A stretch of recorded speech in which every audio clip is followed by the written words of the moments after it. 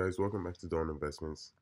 Today's just going to be a quick uh, recap of today's trading day before the market fully closes and some other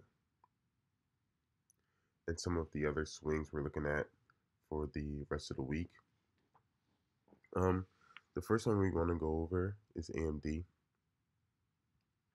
AMD has a strong resistance at around 1347 but a lot of people are trading it due to its possible good earnings tomorrow at um I'm not sure the time, but it just has its earnings coming up, and people are anticipating good earnings based on a couple news, some news articles and things like that that you can do your own research on. But yeah, AMD definitely has um, a profit potential of around seven to like nine percent if you buy in at thirteen forty seven and wait for that break. Uh, possibly to the earnings, if it's good, you may see a, a, a spike in AMD's price. But just keep in mind that this can, you know, it's since it's at a resistance, it can have a pretty major pullback. Uh, especially if the earnings aren't as good as people anticipate. So keep in mind. So so keep that in mind and um, add AMD to your watch list. Uh, the next one we wanted to go over was the the whole DGAS and UGAS situation. Um, paying attention to the whole natural gas side, looking at that. It's been it has it's been having a pretty interesting past day. It dropped significantly um earlier and it's been trending back up slowly, giving a lot of push to UGAS as you can see, UGAS has been making this push after its big uh, drop, and it's almost back at 100.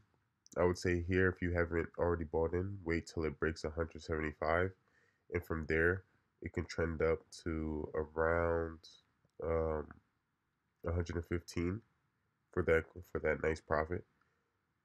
But I would say wait till it breaks that 105 $100 because it can also trend back down natural gas and oil is doing pretty good right now, so there is a chance that it can break that hundred dollars. But just to be sure, I will wait. Um, overall, guys has been doing pretty well as a stock overall, and I wouldn't put it past anyone for adding it to their watch list. Um, inversely, DGAS has been downtrending ever since that big dip in the morning of natural gas. And it looks like it's still on its way down to 17. But once it's at 17, I definitely think it's primed for reverse. Um, not saying it it'll definitely happen, but it will be prime for a reverse, and it could happen. So just keep that in mind when you're trading DGAS. It has still has room to decline. So if you're buying it now, make sure you just definitely wait for those signs of upward confirmation before anything. On the next, um, paying attention to JNUG has also been trending down, and because of that, conversely, uh, DUST and JDST have been moving pretty steadily upwards. If you look at JDST, it's been the same thing. Um, the U.S. dollar was having some trouble. You can look at um, that news as well. Do some research into that. I won't go in depth in this video on that, but um, there's been some news behind the U.S. dollar and gold uh, specifically that's driving these stocks, and um, some news is coming out that may be driving up JDST and DUST. So pay attention to these in the upcoming days as this can start trending upwards. It definitely has some resistances it needs to break. I would say once it breaks that 22 like 40 area, it has a nice profit. It has uh, profit for room. It has a nice room for profit to around $28 for around 21%.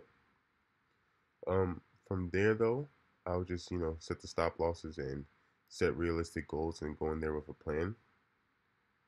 But yeah, as of for DUST, I would definitely keep that on watch, especially as JNUG is uh, going down currently. Another one that uh, was called out in our Discord was CVO. This one has a pretty nice chart. No significant news that I see as of recently, but it has a pretty nice chart. It's bouncing off uh, support and it seems to be trending up. It broke this 100 day EMA and it has some significant movement. Um, I would wait for this to one two, just to be 100% sure. Um, if it continues making this trend, it could reach up to two dollars very soon, and from there, that's a definitely a nice profit. And if it breaks two, it can even go even farther. Uh, from here to around two dollars is around um, 28%. But I would just be careful, especially with these type of volatile stocks. Anything can happen. You can lose a lot of money. You can also gain a lot of money. So just be careful with that. Another stock asked about in our Discord was uh, UAN. This one has pretty observable patterns. You know, it's been moving pretty well. Um, that up down kind of pattern, and it's right now it's on its down. And I was asking if, if I think it's going to go back up. Um, yes, I do think eventually it has the ability to go back up, but I wouldn't say it's a definite thing. So don't just jump in because it's low. Wait for it to, you know, show signs, you know, send an alert. Make sure um, you see those confirmation signs before you're jumping in. And from there, then you definitely have a nice room for profit, especially if you jump in like maybe 370. That's around 10% in a couple of days. But Another stock I want to go over was BZUN.